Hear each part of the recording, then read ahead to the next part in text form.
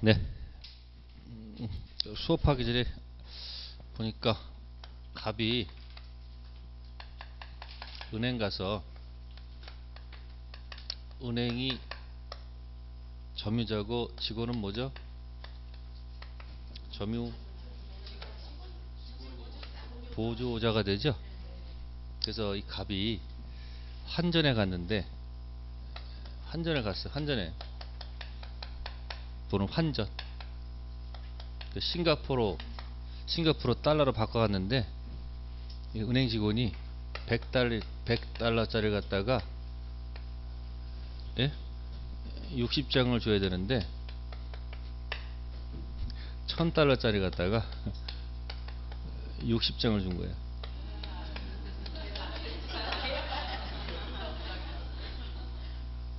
가본에 가가지고 좋아할 게 아니야. 제 직원이 그 근거 남아 있잖아요. 자기 바꿔준 게.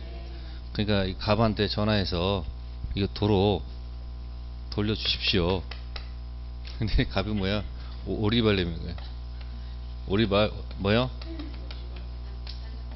나는 모른다. 나는 그냥 60장 받은 것밖에 모를 생각 안 난다. 그러면 그 봉투 어쨌냐? 한잔할 때 봉투 주잖아 앞에다. 그러니까 이 갑이 뭐야? 봉투 본 적도 없고 어, 이- 어, 없다. 완전 오리발 내민 거지. 이 결국은 이 경찰이 이제 구속한. 이제 그, 이 사람 핸드폰 뒤져보니까 그 돈 찍힌 그 정황이 드러나 있어가지고. 그래서 그 제목이 뭐냐면 이렇게 돼요. 점, 응? 점유, 예? 이탈, 한 물건 있죠. 횡령죄로. 점이 뭐요? 이탈은 뭐요? 횡령죄. 가끔 여러분 그런 거 있잖아요. 은행에서 이렇게, 응? 돈, 이게 찾으려 보니 갑자기 앞뒤 돈이 남아 있는 경우도 있어, 없어? 절대 가져가면 안 돼. 그것도 이거야. 점 뭐야? 이탈은 횡령죄. 그 1년 이하의 징역.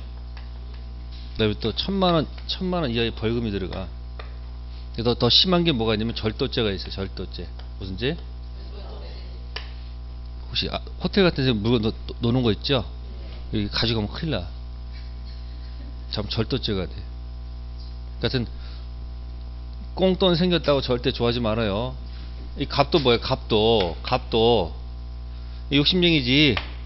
아니면 빨리 가서 뭐예요? 빨리 돌려 주든지 하지. 그거 오리발 내밀다가 뭐 결국은 괜히 돈 이거 바꿔줘 가지고 인생 그래서 이 사람 돈 물어냈다고 이 돈을 이 차액 있잖아요. 이 차액 갖다 은행에다 뭐 한다?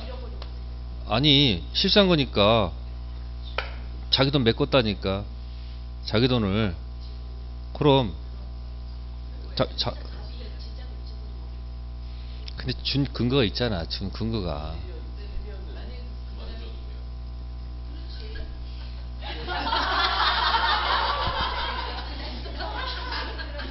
뭐, 몸으로 때우려고? 자, 그래서 여러분들이 남의 물건 뭐 하지 마세요. 아니, 뭐, 떨어져 있잖아. 절대 뭐 하지 마세요. 노타치. 왜 순간적으로 뭐야? 순간적으로 사람이 욕심이 생기잖아요. 잘못하면 뭐 걸리는 거예요. 아시겠습니까? 요거는 촬영해서 지워주세요. 자, 356조 저당권 들어가도록 하겠습니다. 자, D 381쪽 돼 있죠? 포인트물 집중하세요. D 381조 저당권자는 뭐 하지 않는다? 점유하지 않고 뭐가 있다? 우선 변제권 있다. 그럼 아까 유치권자하고는 전혀 반대지. 유치권자는 유치권자는 뭐 하지 않는데 또 찾, 또, 또 찾아 헤맨다 또. 담보물건 두, 두 번째 페이지.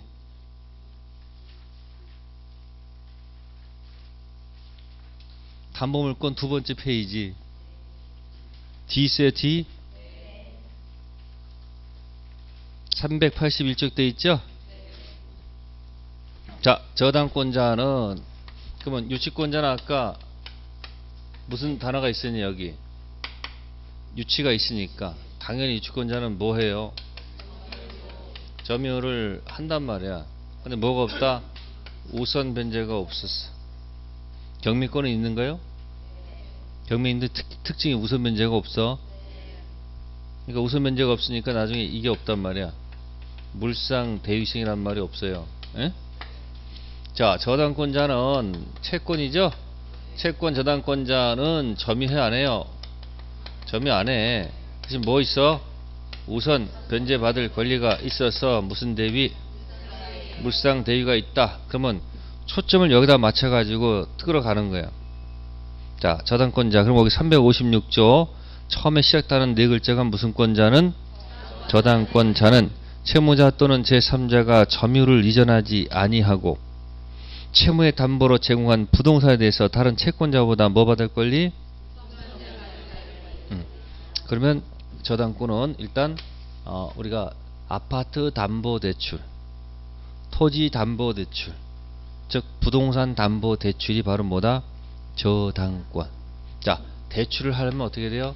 대출하려면 응? 돈을 빌려 쓰는 거란 말이야. 소비 대차. 무슨 대차? 자, 소비 대차라는 대출을 한단 말이에요. 시골에서는 쌀을 빌려 쓸 수도 있어. 쌀 소비 대차. 돈을 빌려 쓰면 무슨 대차? 돈 소비 대차란 말이야. 이 대출은 계약 관계죠? 카센터 채권은 대출이 아니지. 대출해 준 돈 달라는 채권이 아니란 말이야. 근데 여기는 대출해 준 돈 달라는 채권이 생겼죠? 그러면 값은 뭐가 되고, 빌려 쓰는 사람은 채무자, 빌려주는 사람은 채권자. 그래서 이렇게만 빌려주면 신용 신용이 좋아서 빌려주는 거죠. 근데 채권자 은행에서는 담보를 요구하죠. 좀 돈이 적으면 동산 담보를 요구할 수도 있고 아니면 뭐야 부동산 담보. 그러니까 전당포는 동산 담보를 요구한다고. 전당포는 그래서 동산 담보권 잡는 게 질권이고 부동산 담보권 집어넣는 게 뭐다 저당권이야. 그래서 카센터 채권, 유치권, 전당포 채권, 유, 질권, 은행 채권, 저당권. 자 시작 뭐라고요? 카센터 채권, 유치권이고 전당포 가서 채권, 질권이고 은행 가서 채권, 저당권이야. 그러니까 나중에 공부할 때 여름에 저당권 공부하고 싶으면은 여기서 공부하지 마시고 은행을 가서 그 시원한 에어컨에 거기서 저당권 딱 보고 나오시라고.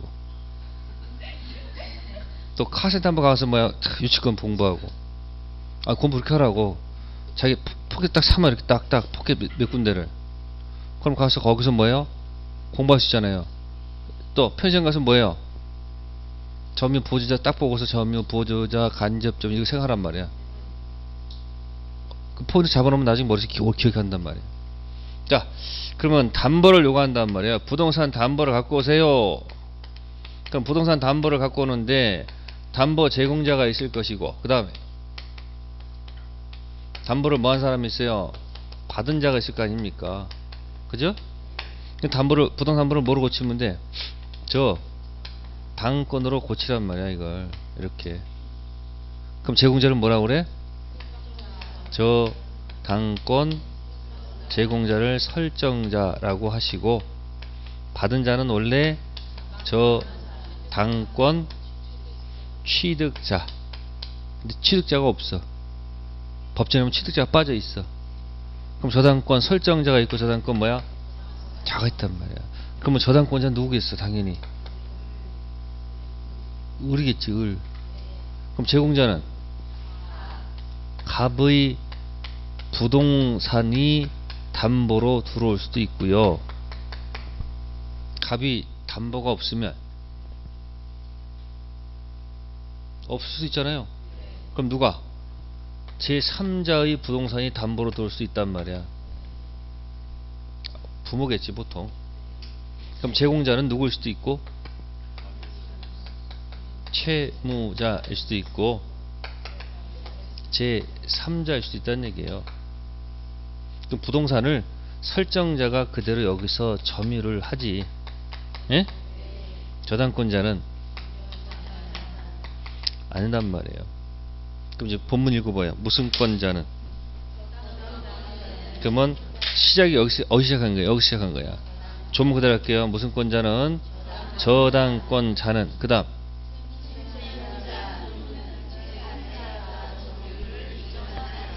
그러면 여기죠 채무자 제3자가 점유를 이전하지 아니하고 그럼 누가 점유하는 거야?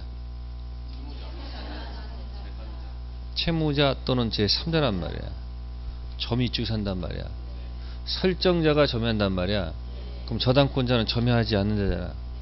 대신 다른 채권자보다 자기 채권 뭐 받을 권리? 우선 변제 받을 권리가 있다 돼 있단 말이야. 저당권자는 뭘 하지 않는다. 무슨 변제? 근데 아까 카센터는 그냥 유치할 권리만 있잖아. 점유만 있는 거지 우선 변제권이라는 말은 없었잖아. 그죠? 그러니까 경매권은 있는데 우선 변제권이 없고 저당권자는 무슨 권도 있을 것이고 경매권도 있고 입장권도 있단 말이야. 경락대금들은 뭐다? 입장권이 있다는 얘기야. 그러면 가장 짧게 쓰면 이거, 이거 있네. 처음에 출발할 때 뭐가 있어서 채권이 있어서 여기 뭘 갖고 있는 거야? 저당권. 근데 뭘 하진 않아? 어. 그러면 가장 좋은 건 뭐야? 가장 좋은 건. 가장 좋은 것은 돈 갚는 게 가장 좋지 뭐. 채무 많은 거 변제예요. 자, 그러면 등기부상에 등기부상에 저당권이 예? 아직 뭐 하지 않고 있어요. 말소하지 않는 상태. 그죠? 그 다음에 돈을 갚은 다음에 시점때 가서 어떡하지? 등기부에 이 저당권 이름을 뭐 한다? 말소를 할 거란 말이에요. 어? 요때 물어볼 거라고. 저당권은 저당권 언제 에? 소멸합니까? 라고 물어볼 거라고 이게 자 채무 변제 시 소멸한다 아니다 말소해야지 소멸한다 골라보세요 응? 모를 때 뭐다 꼭 기억해 두셔야 돼 어차피 식는 거 알면 아는 대로 가고 모르면 모르는 대로 가야 될 거 아니야 뭐 한다? 자동 그래서 언제? 이때 저당권이 뭐 한다? 아니 뭐 하지 않아도 이유가 뭘까요? 아니 이거 모를 때는 얘기고 근거는 근거는 채권이 추가되고 저당권이 종이죠. 카센터 채권 유치권 전당포 채권 질권 은행 채권 저당권 채권 채권 채권이 있으니까 유질저가 있죠. 유질저가 붙어있는 채권은 아까 뭐라고 유담보 채권 법률용어는 뭐죠? 피담보 채권 밑에 담보 물건이 있잖아. 피담보 채권 밑에 담보 물건이 있으니까 피담보 채권이 주고 담보 물건은 종이야. 그러니까 채권이 뭐하면 소멸하면 바로 담보 물건도 소멸한다. 그걸 부종성이라 한다. 무슨 성? 부종성이라 합니다. 쓰지 마세요. 그냥 그런 건 기본이야. 자동 자꾸 들으면 자, 저 이해되는 거예요. 그러면 뭐 하지 않아도 말소하지 않아도 뭐 하는 거예요? 자동 소멸한단 말이에요. 아시겠습니까? 이걸 묻는 방법이 여러 가지야. 묻는 방법이. 자, 언제 소멸한다고 했어요? 자동 소멸이죠? 그럼 말소하지 않아도 소멸하죠? 자, 묻습니다. 이 등기는 유효 등기다, 무효 등기다. 네? 유효, 무효? 당연히 무효지. 왜? 저당권이 당연히 소멸한다 그랬잖아요. 조조 할인 받았어. 극장 들어갔어. 할인 받았지? 근데 30분 늦게 들어갔어. 그러니까 30분 더 보겠다고 그 다음 회에 30분 앉아 있으면 돼안 돼? 안 되지. 표 있어도 그 표는 뭐야 효력이? 그러니까 등기돼 있어도 유효한 게 아닐 수도 있단 말이야. 무슨 등기? 무효 등기란 말이야. 아시겠어요? 무효죠? 자 물어봐 등기 요 등기 불요 등기를 요한다 등기를 불요 요하지 않는다. 네?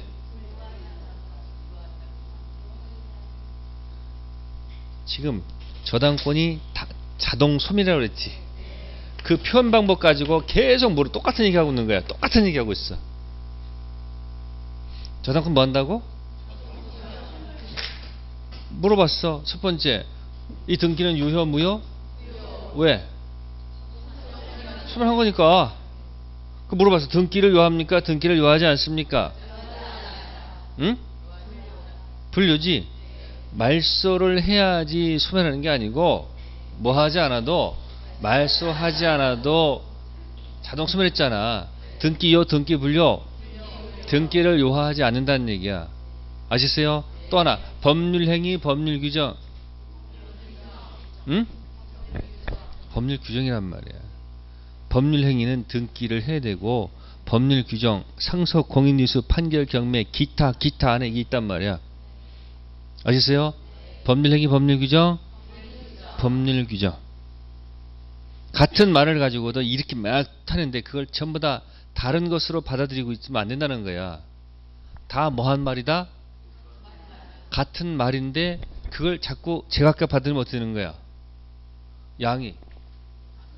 머리가 아니 깨지는 게 아니지. 복잡하지. 머리 터지지. 자 그러면 만약에 만약에 만약에요. 이때 소멸한다면 말소해야지 이때 비로소 저당권이 만약에 뭐 한다면 소멸한다면 어떤 일이 발생할까요?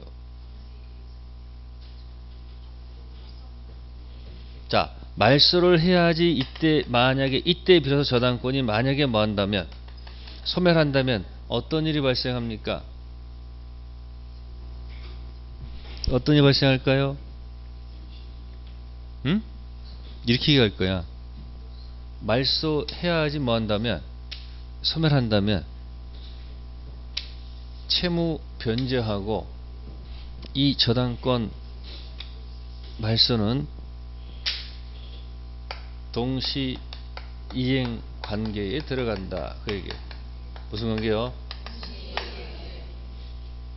동시 이행이 뭐냐면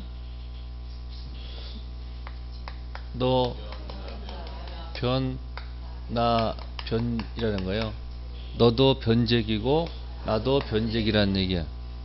무슨 아, 아시겠어요? 그러면 네가 할 때까지 나는 못 주겠다라고 항변권이 있다. 무슨 권? 동상변권은 소속이 물권이다, 채권이다. 항변권이 있단 말이에요. 아셨어요? 항변권이 있는 사람은 자신의 채무를 혹시 뭐 하지 않아도 이행하지 않아도 응? 이행 지체가 아닙니다. 그럼 뭐가 아니면 이행 지체가 아니면 지연 이자가 없다는 얘기예요. 약속했어요. 하루 지연 이자 100만 원. 그러면 이 날짜가 7월 1일이야. 그럼 7월 1일 이 사람 뭐 하지 않아도 변제하지 않아도 항변권 있잖아. 이행하지 않아도 지체가 아니죠. 지연이자부터 안 붙어 안 줘도 된다는 얘기지. 그러면 채무자는 뭐라고 떠들 거야? 네가 등기를 뭐 할 때까지 말소될 때까지 돈 못 갚어 이렇게 항변할 거란 말이야. 그럼 안 붙어? 안 붙어. 근데 방금 전에 이때 소멸하는 게 아니고 언제 소멸한다고 그랬어? 돈을 갚으면 저당권은 뭐 한다고? 저당권은 소멸한다고 분명히 얘기했지. 그러니까 채무 변제와 저당권 등기 말소는 무슨 관계가 아님. 돈 갚으면 자동 소멸하자는 거 아니야. 그러니까 무슨 관계 아니야? 동생 관계 이단이다. 아니다. 아셨어요? 그럼 동생 관계가 아니면 어떤 일이 발생하는 거야? 네? 항변 없다는 얘기 아니야? 그 무슨 얘기예요? 갑 너는 뭐고 변제기고 을 나는 변제기가 아니라는 얘기야. 그러면 동생 관계 아니라는 것은 무슨 얘기예요? 갑이 선 이행을 약속한 자란 얘기야. 무슨 자? 선 이행 의무자는 무슨 권이 없다? 항변권 없는 사람이 자신의 채무를 뭐하지 않으면 이행하지 않으면 어떤 일 발생해요? 이행 지체 이단이다. 이다가 되겠지. 그럼 뭐가 붙어? 지연 이자가 붙는단 말이야. 그래서 다음 날부터 지연 이자가 하루씩 붙는단 말이야. 이렇게 30일 지연됐어. 얼마? 100만 원치 100만 원이잖아 아까 3천만 원 이자를 줘야 되는 거야. 지연 이자가 1억일 수도 있습니까? 있지. 왜? 만약 돈이 뭐 천억 대안이 되면 이자가 뭐야? 그렇게 갈 거 아니야. 그러니까 뭐 때문에 따지는 거야 지금? 돈 때문에. 무슨 이자가 받느냐 안 받느냐 지금 받느냐 안만 따지는 거란 말이야. 그럼 제가 무슨 성 가지고 부 종성 가지고 따졌죠. 프린트물을 들치라는 말을 못 하겠어 무서워서. 다들 헤매가지고. 자 한 페이지만 넘기세요. 그냥 그 뒤로 그냥 넘기세요. 예? 2에 보면 2 있어요? 2에 맨 마지 328조 아니다 내가 잘못했네 내가 잘못했다 아니 2페이지죠? 내가 정신이 없네 3페이지로 가야 된다 3페이지요 다음 페이지 3페이지 보시면 369조가 있을 거야 있어요? H I J 있다. I 있죠. 맨 밑에 뭐 있어요? 부정성 있죠? 뭐라고 돼 있어요?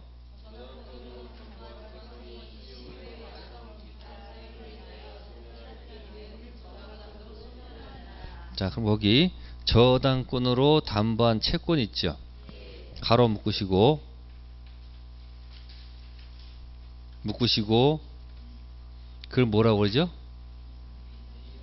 음, 피담보 채권. 아까 제가 유담보 채권이라고 그랬지.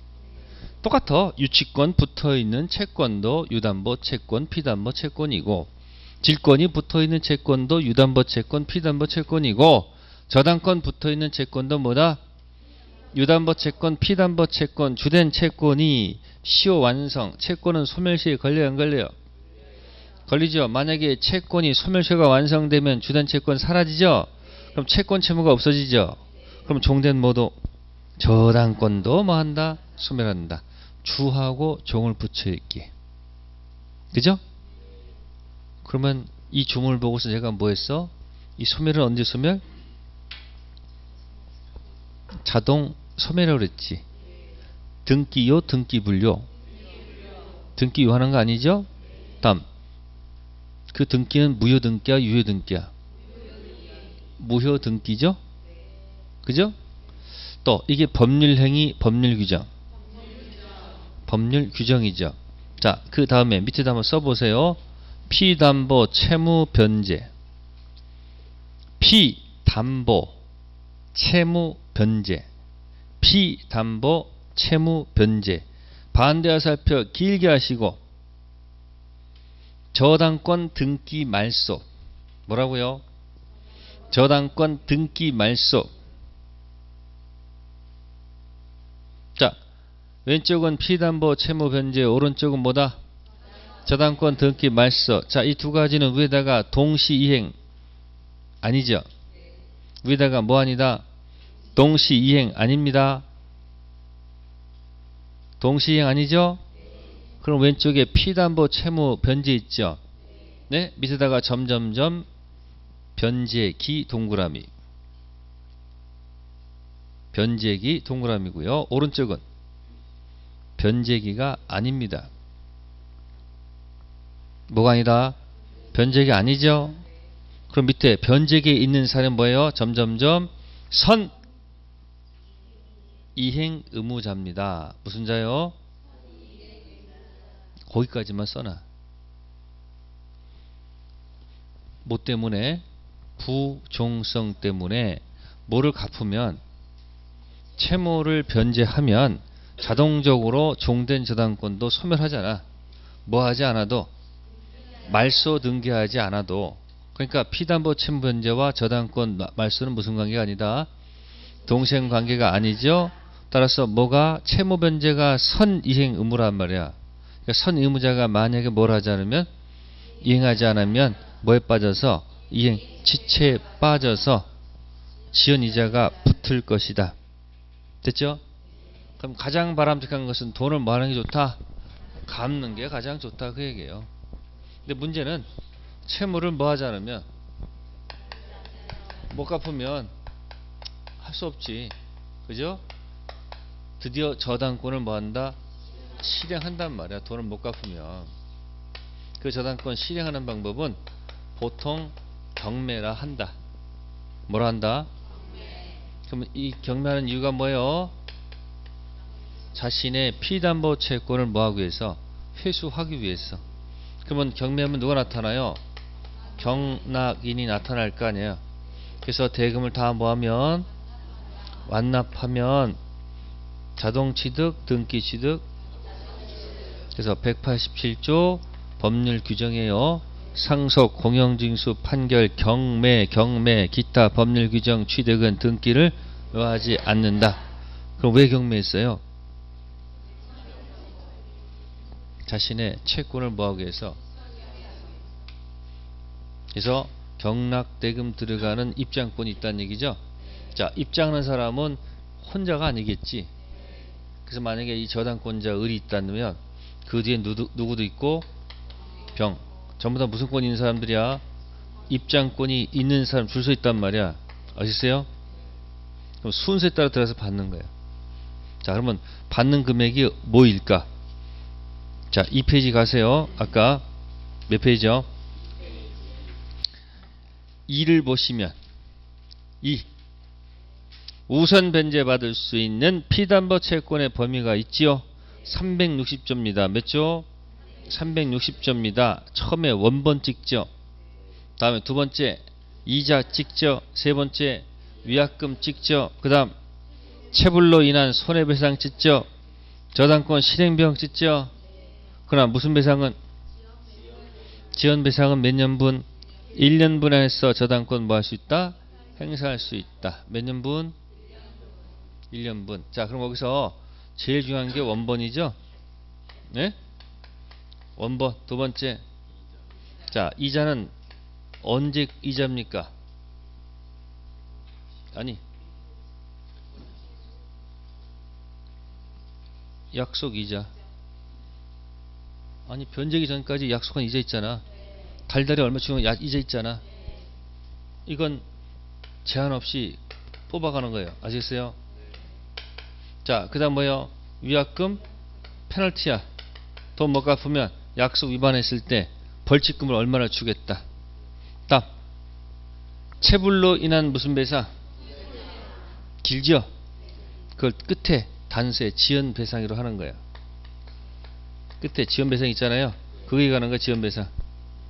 체불로 인한 손해배상이 뭐다? 지연 배상. 그 몇 년분? 1년분. 그 다음에 무슨 뭐요? 실행 비용. 그럼 거기서 가장 중요한 게 뭐냐면 앞에 이자는 제한 없이 그건 변제기 전까지 약속한 이자란 말이야. 그 못 받은 약속된 이자는 뭐야? 제한 없이 다 받아나갈 수 있고 그 다음에 변제기 위에 못준 건지 뭐가 붙어 아까 이게 왜 붙어? 이게 왜 붙어? 이게 왜 붙어? 채무 변제날 이거하고 이건 무슨 관계가 아니기 때문에 아니니까 값 다음날부터 붙는단 말이야 지연이자가 응? 그 지연이자 몇 년분? 1년분 앞에 약속된 이자는 뭐고?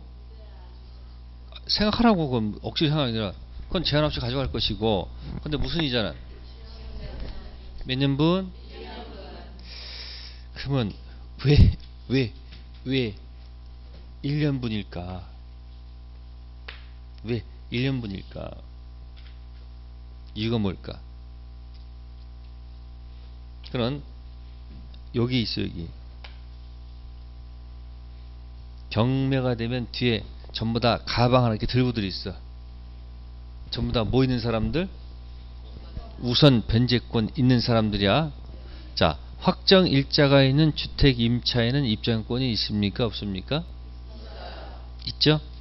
말소 기준 권리 저 뒤에 있는 후순위 임차인들은 뭐가 있으면 확정 일자가 있으면 입장권이 있어. 근데 만약에 뭐가 없으면 확 입장권 없어. 아시세요? 그럼 여기 경락대금 들어간 사람 전부 다 뭐가 있는 사람들만 우선 변제권 있는 사람들만 있어. 서열이 있어 없어? 순서가 있단 말이야. 예? 근데 맨 앞에 계신 을께서 뭐가 있다 해서 우선 변제권이 있어서 들어가서 예? 이 사람이 일부러 저당권을 늦게 실행했어. 일부러. 그러니까 지연이자가 한 3년치가 한 3년치가 있는 아니 한 5년치가 있다고 가정해. 몇 년치가? 앞에 사람이 지연이자를 5년치를 다 뽑아가면 뒷사람 뭐야? 가져갈게. 없잖아. 뒷사람이 앞에 이자는 예측할 수 있어 없어? 아니 이 앞에 사람이 이자가 얼마 정도 나와서 예측할 수 있어 없어?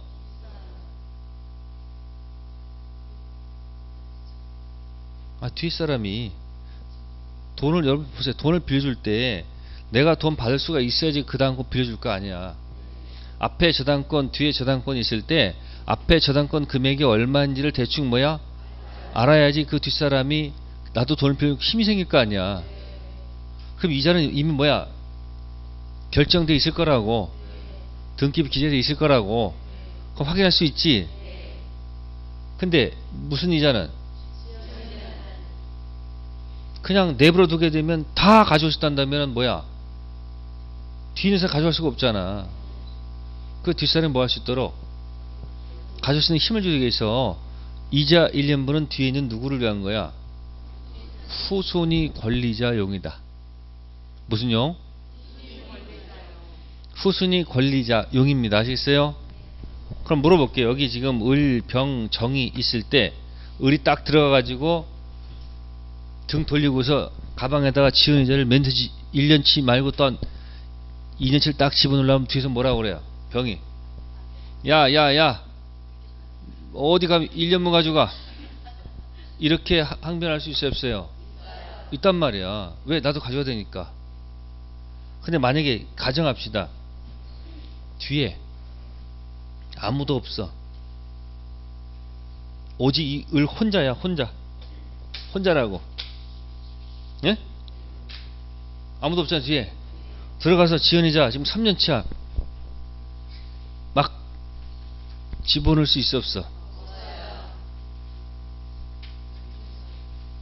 막 집어넣어도 소리 아무도 안 들려. 야, 야, 야, 지연이자 일면 들려, 안 들려? 안 들리잖아. 그게 무슨 얘기야? 그게 무슨 얘기냐고.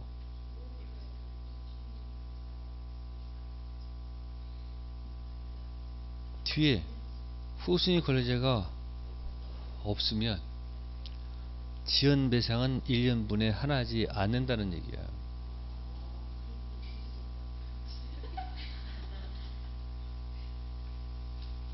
아니 거기 년분 돼 있어. 아니 뒤에 기- 기다리는 사람 누가 떠들어대지 할까 뒤에 아무도 없잖아. 그러니까 뭐야 들어가서 뭐야 아무도 없잖아. 그러니까 뭐야 마음 놓고 뭐야 담아갈 수 있단 말이야. 아시세요?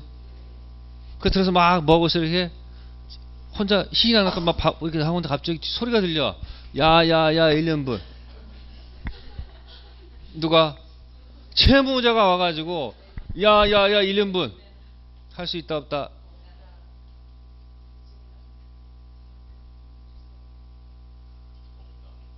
아 생각해봐 여러분들 채무자 또는 설정자 와가지고 야야야 이천에 1년분 할 수 있을 것 같아 없을 것 같아? 예? 그건 없어. 이유 간단합니다. 채무자 변제 못하지. 채무자 자세.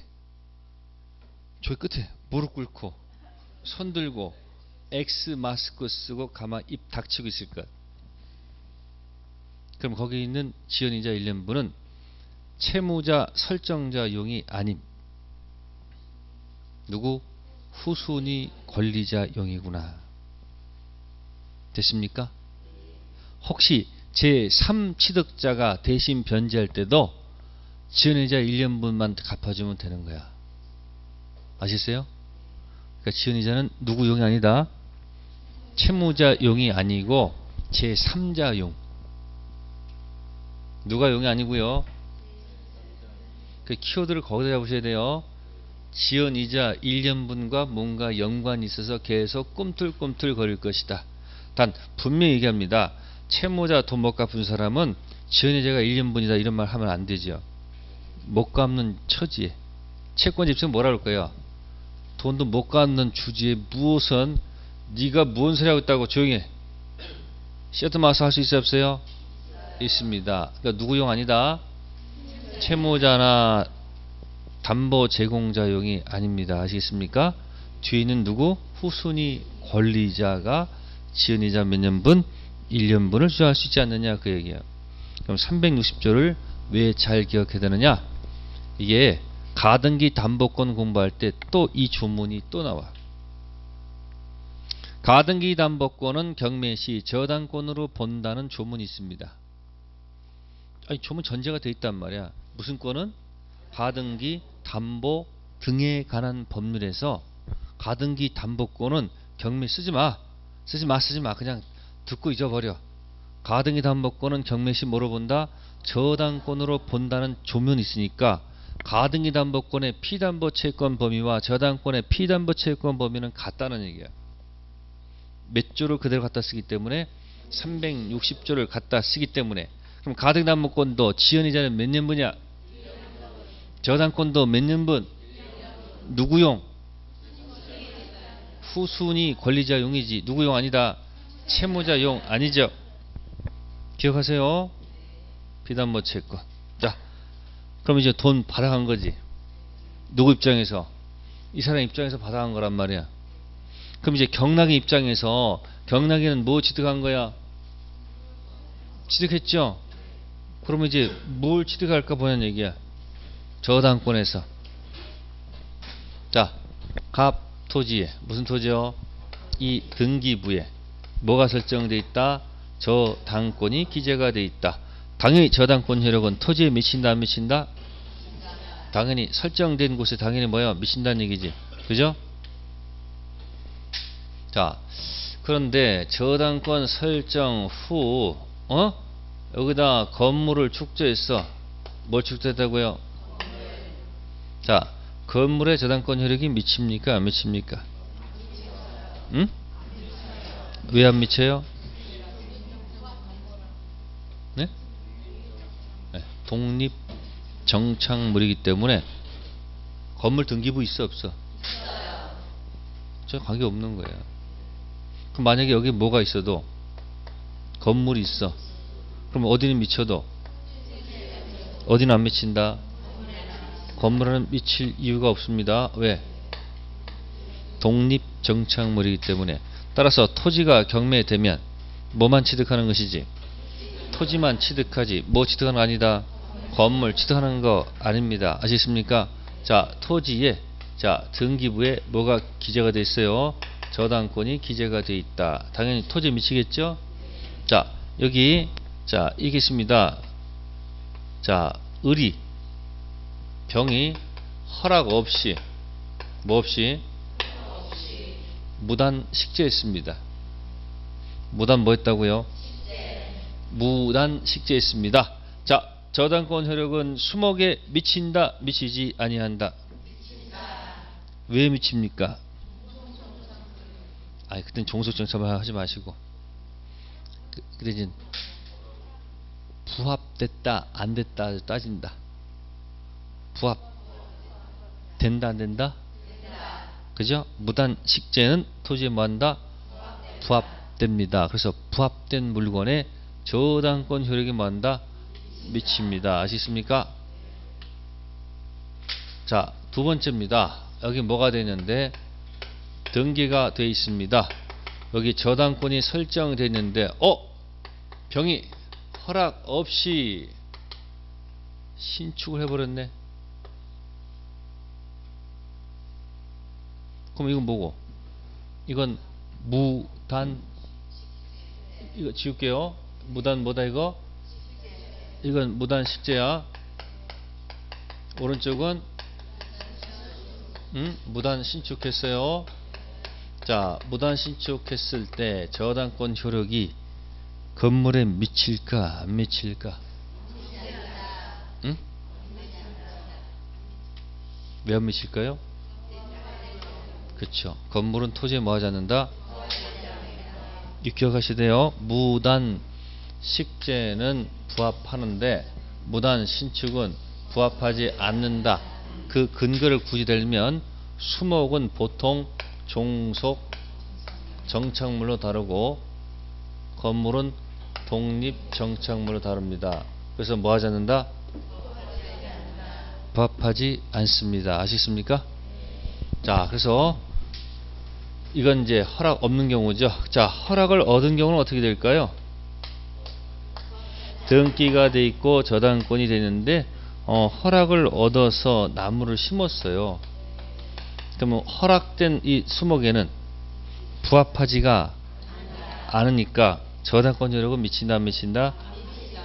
미치지 않는다 그 얘기예요. 됐습니까? 자, 그 다음에 무단 경작 농작물이 있어. 토지에다가 뭐 설정했는데 저당권 설정했는데 아유 병이 뭐야? 허락 없이 응? 경작 무단 경작 농작물이 있어. 응? 농작물은 누구 거야? 응? 확실해요? 그 뭐야? 무단 경작 농작물은 토지에 부합하지 않죠. 저당권 효력이 무단 경작 농작물에 효력이 미친다 안 미친다? 안 미칩니다. 그러면 경락이는 뭐만 취득?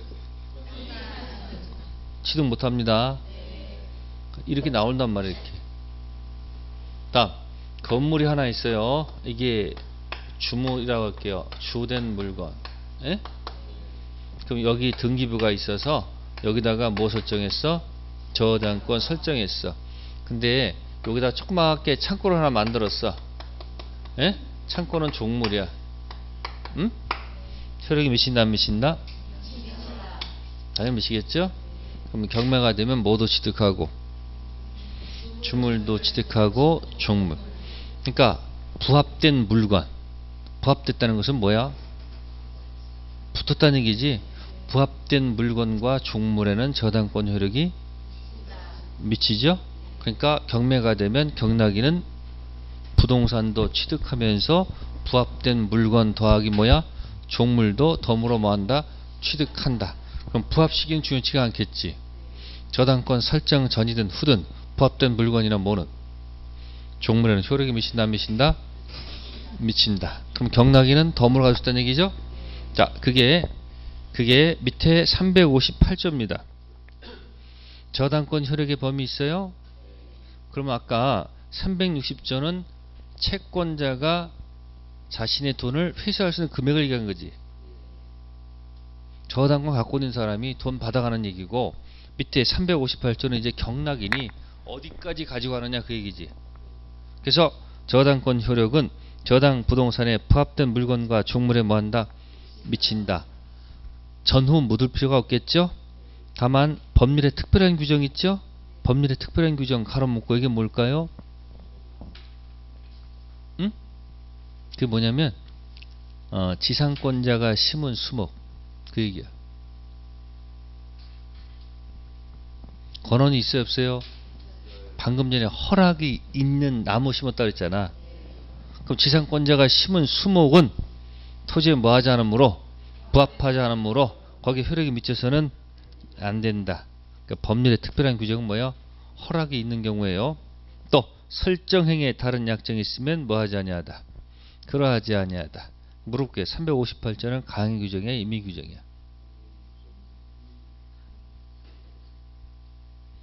358조가 강행 규정이다, 임의 규정이다. 아니, 그 조물 잘 읽어보라, 거기. 맨 마지막에 뭐라고 돼 있어? 아니 설정 행위에 다른 약정이 있으면 그 뭐야? 이미 규정이지 뭐. 그럼 달리 정할 수도 있어 없어? 예를 들어서 저당권 설정 전권은 미치는데 저당권 설정 후는 뭐 하지 않는다? 미치지 않는다는 특약을 맺으면 미치지 않겠지. 그럼 무슨 특약이 없으면? 그런 특약이 없으면 미친다. 아시겠습니까? 그러니까 360조는 채권자가 뽑아갈 수 있는 범위 그죠? 밑에 358조는 경락인이 어디까지 도대체 가져갈 수 있는지 얘기하는 거겠지. 자, 밑에 359조 있네. 과실. 질문할게요. 과실은 누구 거예요? 아니, 여기서, 여기서. 이 저당권 설정자 거예요? 저당권자 거예요? 응? 점유를 누가 하니까? 아셨어요? 이 사람이 하지 않잖아. 그죠? 그러니까 저당권은 담보만 갖고 있지 부동산 사용 수익은 계속 누가 해? 설정자가 하지. 내버려 뒀다가 돈 갚으면 그냥 끝나는 거고 돈을 안 갚으면 저당권 뭐야 실행해. 응? 그래서 압류 전까지는 누구 거다? 압류 후는 뭐 하지 않으므로 아시겠어요? 읽어볼게요. 저당권 효력, 저당권자권은 저당권 효력은 저당 부동산 압류가 있은 후 저당권 제공자, 설정자가 그 부동산으로부터 수취한 과실 또는 수취할 수 있는 과실에 뭐한다? 미친다. 거기까지만 읽으면 돼. 그 뭐 전까지는 저당 부동산 압류 전까지는 점유하는 설정자가 가져가시면 되고 돈 못 갚아서 압류가 들어간 이유는 누구? 저당권자 가져가도 좋지 않을까요? 됐죠? 자, 그럼 이제 359조는 당연히 권자하고 설정자 얘기지. 그러니까 권자는 뭐 하지 않으니까? 점유하지 않으니까. 설정자가 가져가는. 그러니까 사람이 359조 누구 거야? 설정자 용이지. 응? 360조는 저당권자 이야기지. 그렇잖아요. 그 다음에 358조는 이건 이제 경락인 얘기라고. 다, 다 이해관계가 있는 거니까. 그러니까 저당권자가 점유를 하지 않고 설정자가 점유하니까 그 기간 동안은 과실을 누가 가져가고 설정 가져가는 것이고 그 다음 만약에 이제 저당권자가 돈을 안 갚으면 저당권자가 경매를 하겠지. 그럼 압류가 들어가면 그때부터 과실 놓고 저당권자고 그 다음에 이제 경매에서 경락대금 얼마큼 받아가는가? 그 360조 갈거 아닙니까? 그럼 경매하면 경락이는 뭐 하는 거야? 어디까지 가져오는 게 있어야 될거 아니야? 가보니까 뭐 그, 그 저당권 제공자가 거기 창고에 붙어 있어 살라고 그래. 그럼 되겠습니까? 안 되겠습니까? 나가라. 그것도 뭐라 그래요? 아, 저당권은 건물에 붙은 거지 여기는 아니지 않느냐? 그러면 천년 역사 동안 그런 얘기가 있었겠어? 없었겠어? 사람 삶을 살다 맨날 싸움이야, 싸움, 분쟁이라고. 그렇게 딱 기준 정해놓는 거야. 경락인이 어디까지 가져간다. 됐습니까? 그래서 분쟁이 없겠죠? 그런데 문제는 뭐냐면, 경, 저당권 붙은 후 들어온 부동산 사람들 있을 거 아니야. 저당권 전에 들어온 사람도 있고, 뭐야? 후에 붙은 사람도 있을 거 아니야. 그럼 저당권보다 앞에 있는 사람들은 뭐야? 지상권, 전세권 앞에 있는 사람은 관계가 없어. 주인 바뀌어도. 근데 어떤 사람들? 그 저당권 후에 들어온 사람들은 다 날아간단 말이야. 에? 이제 그런 자들을 이제 보호할 필요가 있어 없어? 있어. 그래서 여기 364조에 제3취득자 변제란 말이 있어. G. G. 자, 364조 제3취득자의 변제란 말 있죠. 저당 부동산에 대해서 소유권, 지상권, 전세권 취득한 제3자 있죠. 자, 이때 소유권, 지상권, 전세권 취득한 제3자는 저당권 후에 들어온 사람들이죠. 전혀 아니에요. 언제 후? 저당 부동산 후에 들어온 자들이죠. 이 사람 소유권 갖고 있는 사람, 지상권 갖고 있는 사람, 전세권 취득한 제3자 있죠. 이 사람들 가서 가서 가 보니까 전부 다 띠도 들고 있어. 띠. 띠 들고 있어요. 그 띠로 가서 딱 보니까요. 죽을 각오라 적혀 있어. 무슨 각오? 죽을 각오 들어와야 돼. 뭐 보고 들어가는 사람들은 저당권 보고 들어가는 사람들은 전부 다 죽을 각오해야 돼.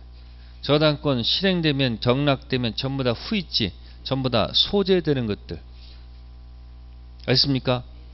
그 살아남기 위해서 저당 부동산 저당권자에게 부동산으로 담보된 채권을 뭐하고 변제하고 저당권 소멸을 뭐 할 수 있어요? 청구할 수 있습니다. 아시세요? 전세권 갖고 있는 사람 있죠? 아웃되기 일부 직전이야. 응? 그때 뭐예요? 대신 뭐하고? 갚아주고 말소 청구할 수 있단 말이야. 자신의 빚 아니지. 자, 거기 저당권으로 거기 보세요. 담보된 채권 있죠. 예? 이게 360조를 얘기하는 거예요. 몇 조요? 그럼 지연이자 다 갚아줘야 되는가 아니면 1년분인가? 1년분. 됐습니까? 그럼 살아남을 수 있어 없어? 있죠. 그럼 돈 갚은 다음에 이제 가서 누구한테? 채무자한테 내가 돈 갚았으니 주세요. 청구할 수 있어요 없어요? 있습니다. 이건 대위 변제에서 그대로 있는 거지. 아니면 363조 2항에 뭐라 했습니까? 저당물 소유권을 취득한 누구도 제3자도 뭐가 될 수 있다? 음, 저당물 소유권 취득한 누구도 제3자도 뭐가 될 수 있다? 경매인 될 수가 있네요. 그죠? 다음 361조 제3취득자 무슨 청구권? 비용 상한 청구권 저당물 제3취득자 아웃되죠? 날라가죠? 그럼 그동안 들어간 비용들이 있겠네? 보존 계량 비용들 있죠? 필입실하면 203조 어 또 나왔네? 203조가 뭐였더라? 점유자 회복자 비용 상한 청구권 200선 점유 회복자 있잖아요. 지금 지상권 또는 전세권 취득해 가지고 그 부동산에다가 들어간 비용들이 있을 거 아니야. 그럼 그 비용을 경락인에게 요구할 수 있는데 만약 그렇게 하게 되면 경락인은 그럼 이중으로 문제가 생기지. 경락대금을 다뭐 했는데 완납해서 샀는데 또 그 점유했던 사람이 쫓, 쫓겨나가면서 뭐예요? 그동안 들어간 비용을 다 하려고 요구하면 어떻게 돼? 또 유치권까지도 개길 거 아니야? 그럼 경락 받으나 말하냐? 그러니까 그런 비용을 경락인한테 요구하면 안 되고 경락대금에서 먼저 받아가라는 얘기야. 아시세요? 그러니까 삼취득자는 점유자 회복자 관계에서 비용 상한 채권을 원래는 누구한테 요구할 수 있는 건데 그렇게 하게 되면 경락받는 사람은 돈을 이중으로 들잖아.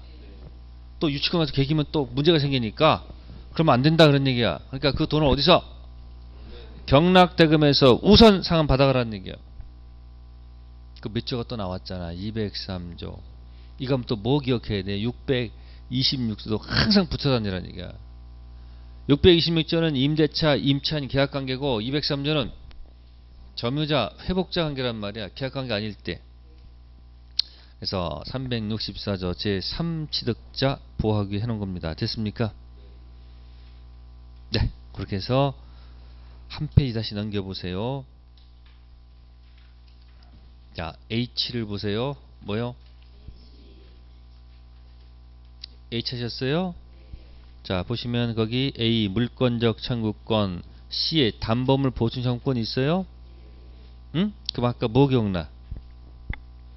370조 준용 규정 213조 없지? 몇 조만 있어? 214조 있지? 아까 제가 뭐라고 얘기했더라?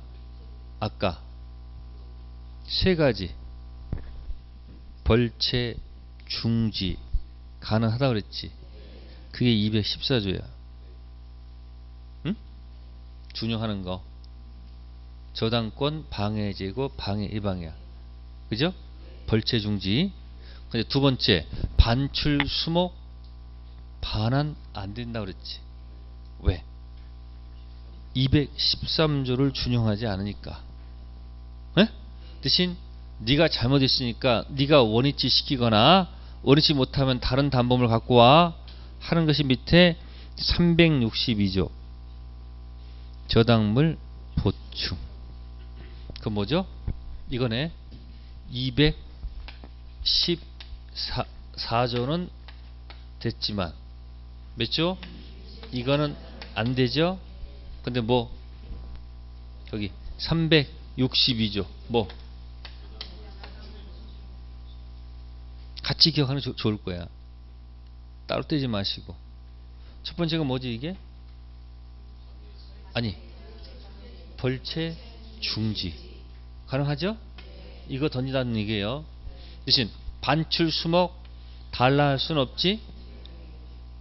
완전히 점유하지 않으니까 대신 네가 가서 뭐 하든지 네 잘못이니까 원위치 시키든지 원위치 뭐 시키면 다른 단어 달라. 이게 뭐예요? 됐어요? 아니 그러면 이해가 된, 이해가 됐잖아. 그 이해된 다음 나중에 또 한번 들어서 두 번째 이해되어서 이렇게 딱 붙이면 딱 정립이 될 거야. 그 물권적 청구권이겠습니다. 네, 잠시 쉬었다가 하도록 하겠습니다.